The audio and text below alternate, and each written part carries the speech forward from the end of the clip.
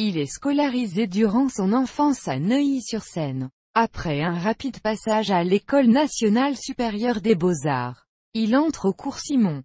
Il débute au cinéma en 1945 dans Le Jugement dernier de René Chanas aux côtés de Jean Desailly Louis Seigné puis tourne en 1947 et 1949 dans deux films de Jacques Baker, Antoine et Antoinette et Rendez-vous de juillet. C'est dans Rendez-vous de juillet en 1949 qu'il rencontre Germaine Lefebvre dite Capucine qui devient sa femme pour quelques mois. Il gagne le prix Triomphe du cinéma 1954 pour son interprétation de jeune prêtre mystique dans le Défroqué de Léo Johannon, mais c'est son rôle d'instituteur dans le film culte La guerre des boutons, sorti en 1962, qui lui assurera la notoriété auprès du public. Parallèlement, il devient très actif à la radio et à la télévision en doublant de nombreux films et dessins animés.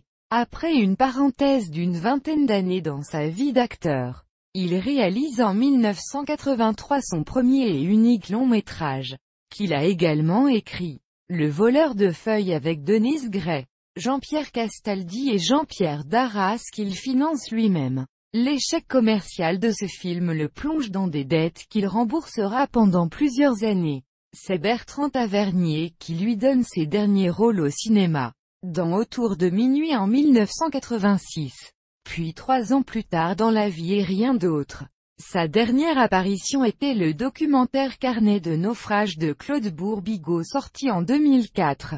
Pierre Trabeau meurt ainsi le 26 février 2005 et c'est au cimetière de Neuilly-sur-Seine qu'il repose.